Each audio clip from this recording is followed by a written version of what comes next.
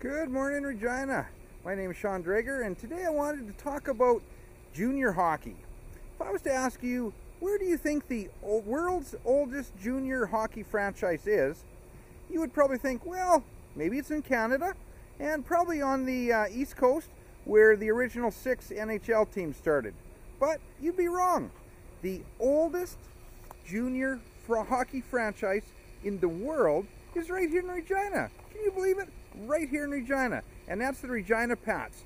Started out in 1917 under the name the Regina Patricias.